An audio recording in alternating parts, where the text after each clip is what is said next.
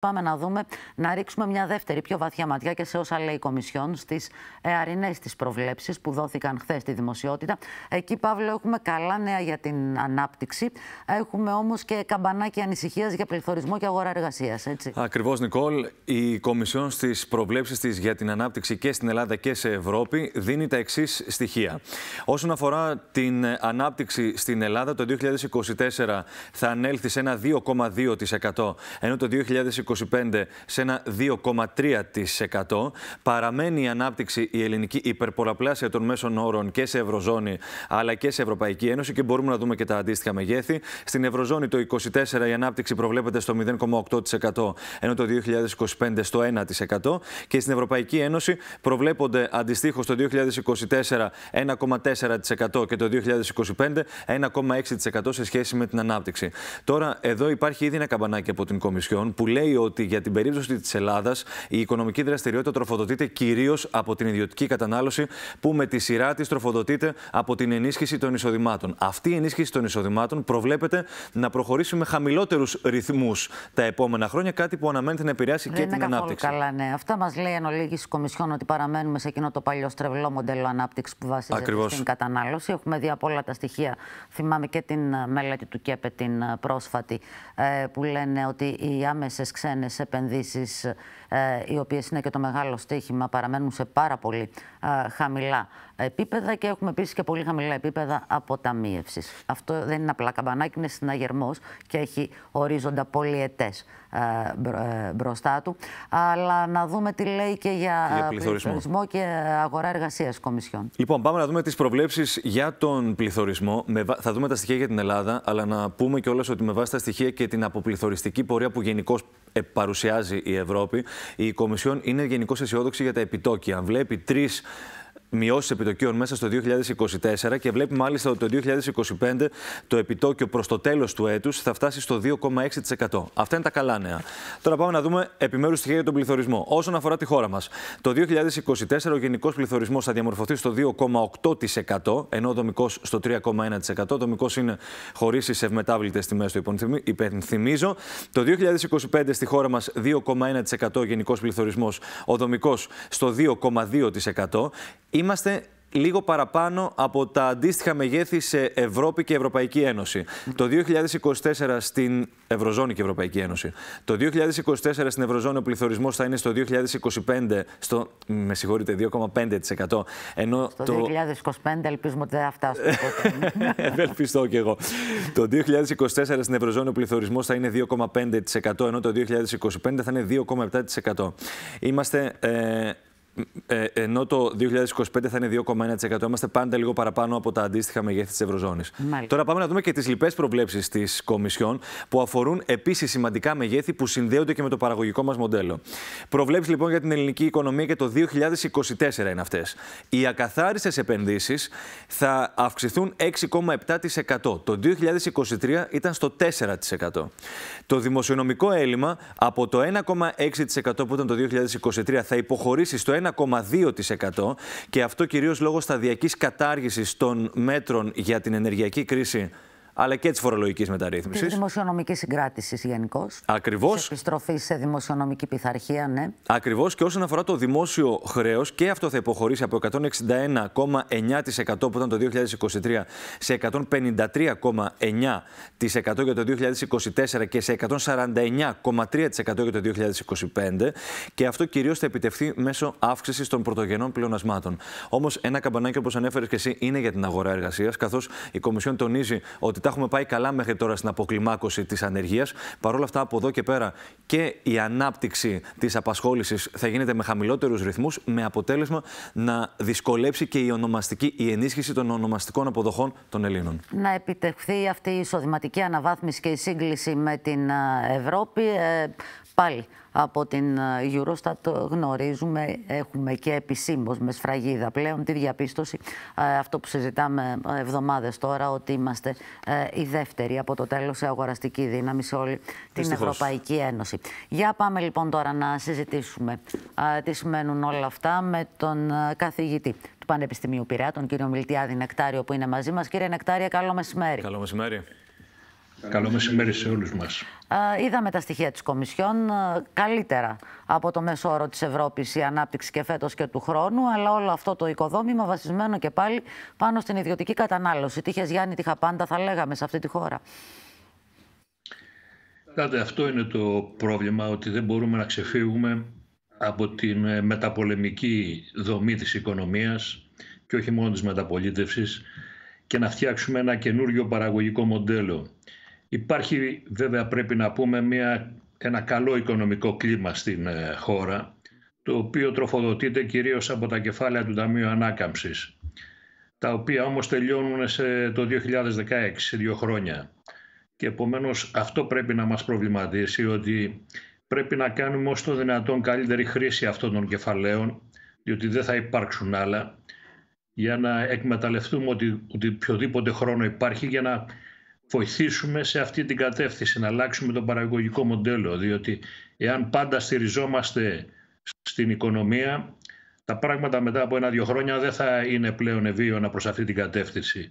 Οπότε θα προσγειωθούμε στους ρυθμούς ανάπτυξης που έχουμε πει από το 2018 και που έχει προβλέψει και η Ευρωπαϊκή Επιτροπή και το Διεθνές Νομισματικό Ταμείο. Δηλαδή 1% στο διηνεκές ανάπτυξη. Το οποίο σημαίνει ουσιαστικά Επομένως... οικονομική στασιμότητα. Κύριε Νεκτάρια, για να αλλάξει το παραγωγικό μοντέλο χρειαζόμαστε επενδύσεις. Όλα τα στοιχεία όμως μας δείχνουν ότι παρά τις διακηρύξεις ε, και τις ε, προσπάθειες που ενδεχομένως γίνονται, οι άμεσες ξένες επενδύσεις παραμένουν σε πολύ χαμηλά ε, επίπεδα. Γιατί συμβαίνει αυτό, τι δεν κάνουμε σωστά;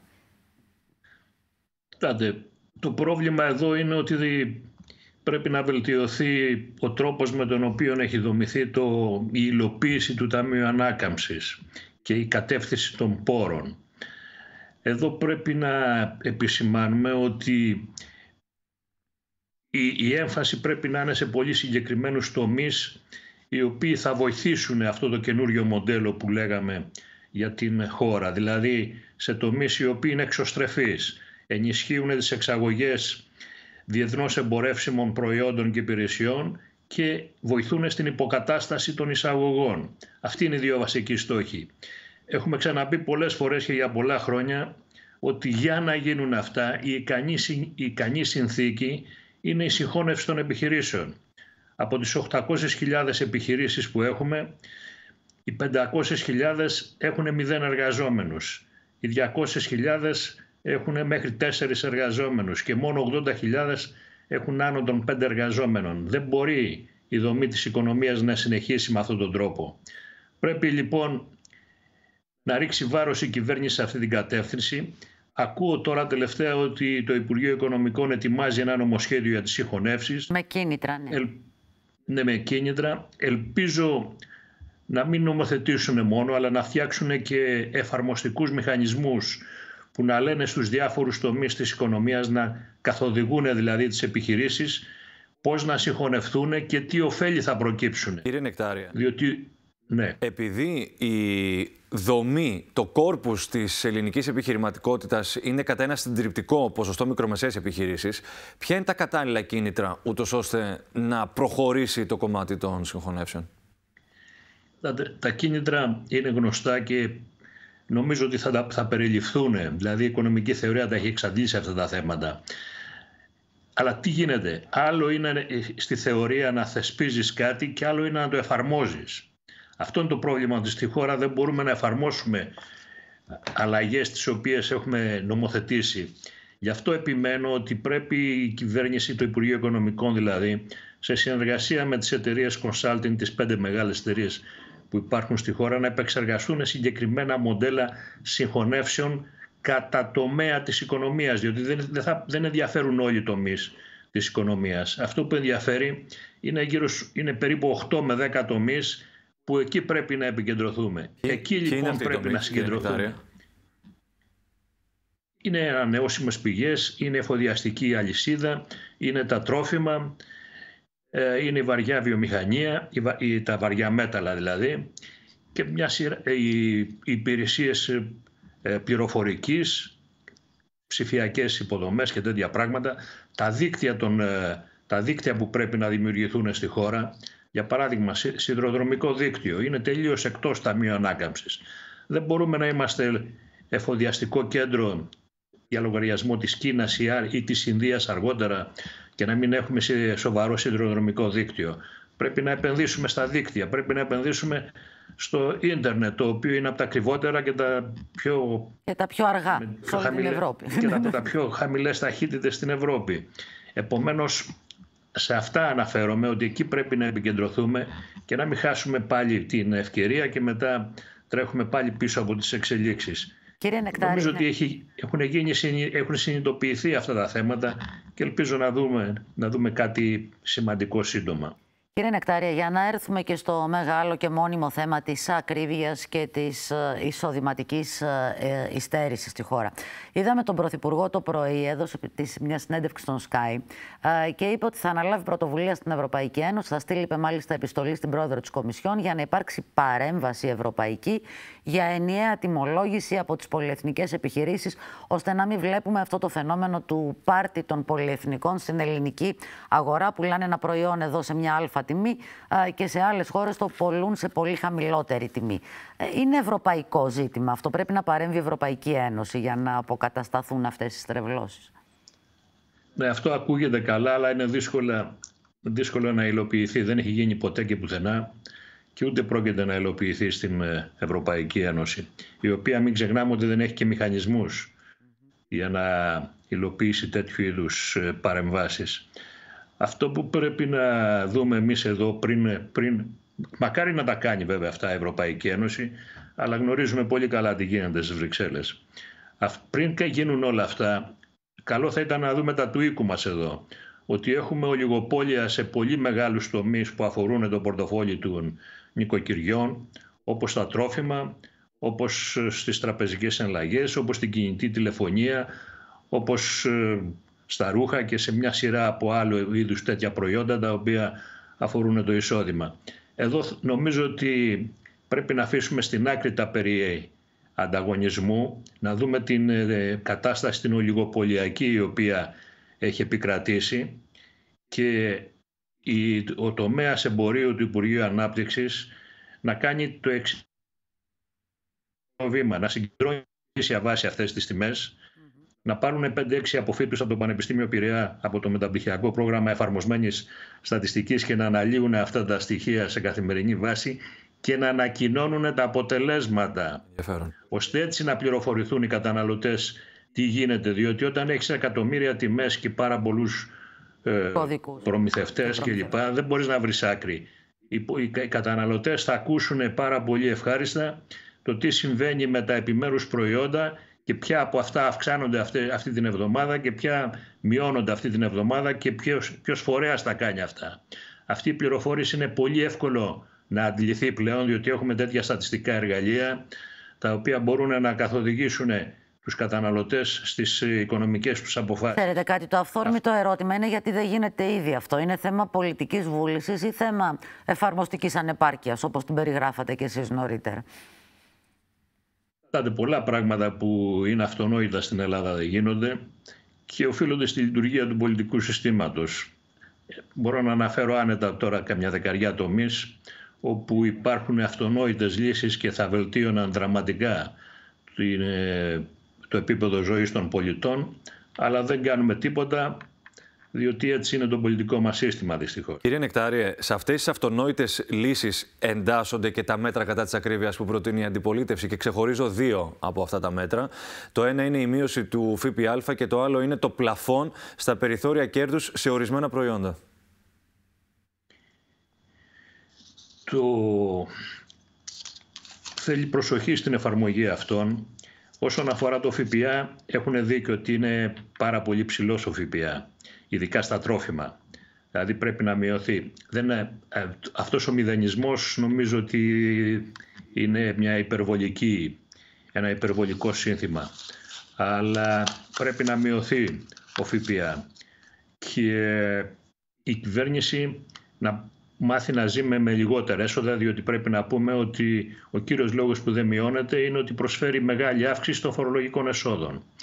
Αλλά βέβαια και τα νοικοκυριά τα οποία έχουν υποστεί αυτή την ραγδαία μείωση των εισοδημάτων τα τελευταία 10 χρόνια δεν, δεν αντέχουν πλέον να πληρώνουν τέτοιες τιμές. Επομένως κάπου εδώ πρέπει να βρεθεί ένα, μια κοινή βάση συνεννόησης σε αυτή την κατεύθυνση. Και επίσης μην ξεχνάμε ότι όλα αυτά τα οποία αναφέρουμε έχουν και την άλλη πλευρά του νομίσματος. Ότι εκτός από τις υψηλές τιμές έχουμε και πολύ χαμηλά εισοδήματα. Και επομένως πρέπει να γίνει μια προσπάθεια βελτίωσης και των εισοδημάτων μέσα από συλλογικές διαπραγματεύσεις και άλλα, πολλά άλλα πράγματα που την τελευταία δεκαετία τα έχουμε ξεχάσει. Κύριε Νεκτάρη, αφορά... ναι. Α, ολοκληρώστε και θα σας ρωτήσω μετά. Ναι. Τώρα όσον αφορά την, ε, τη θέσπιση πλαφών για ορισμένα προϊόντα, εδώ χρειάζεται ακόμα περισσότερη προσοχή για να δεις την οικονομική δομή του, της συγκεκριμένης αγοράς του συγκεκριμένου προϊόντος και να δεις τι θα ακολουθήσει την επιβολή αυτού του, αυτού του πλαφών. Διότι όλα αυτά είναι ε, πιθανό να δημιουργήσουν παρενέργειες θέλω να πω και να επιφέρουν τα αντίθετα αποτελέσματα από τα αναμενόμενα. Ε, θέλω να θέσω ένα ακόμα ερώτημα, το οποίο μου έχει προκύψει μετά τη συνέντευξη του Πρωθυπουργού και πάλι τη σημερινή. Είπε ο κ. Μητσοτάκης ότι ε, εάν υπάρξει δημοσιονομικός χώρος, η κυβέρνηση θα προχωρήσει και σε περαιτέρω μείωση των εργοδοτικών εισφορών σε σχέση με αυτές που έχουν, με αυτή που έχει προγραμματιστεί ε, ήδη. Υπάρχει τέτοια δυνατότητα και το ρωτώ γιατί, γιατί με βάση το αναμορφωμένο σύμφωνο σταθερότητας γνωρίζουμε ότι ε, ο πρόσθετος δημοσιονομικός χώρος πρέπει να πηγαίνει στο χτίσιμο πλεονασμάτων. Άρα, άρα, πόσο ρεαλιστικό είναι να βρούμε τα περιθώρια για κάτι τέτοιο; Τώρα είναι αργά πλέον για να βοηθηθεί το σύστημα συντάξεων με μειώσεις εισφορών. Αυτά τα είχαμε πει από το 2018 στα πλαίσια του τρίτου μνημονίου να γίνει μία μείωση των ε, ασφαλιστικών εισφορών όπως προβλεπόταν τότε με τις παράλληλες ρυθμίσεις που είχαν γίνει στα πλαίσια του τρίτου μνημονίου να μειώσουμε το διανεμητικό σύστημα και να φτιάξουμε από το μηδέν ένα καινούριο κεφαλοποιητικό σύστημα που θα έδινε τη μισή σύνταξη παράλληλα με το διανεμητικό σύστημα. Αφού η, κυβέρνηση, η τότε κυβέρνηση τα ψήφισε, μετά σε συνεργασία με την ε, αντιπολίτευση που ήταν τότε το κόμμα της Νέας Δημοκρατίας, τα ανέρεσαν αυτά που είχαν ψηφίσει και δεν τα εφάρμοσαν ποτέ. Οπότε χάθηκε η ευκαιρία. Επομένως τώρα είναι πολύ αργά να μιλάμε για συστήματα, για μεταρρυθμίσεις στο σύστημα συντάξεων, διότι εντωμεταξύ έχει ενσκύψει πλήρως και το πρόβλημα της γύρας του πληθυσμού.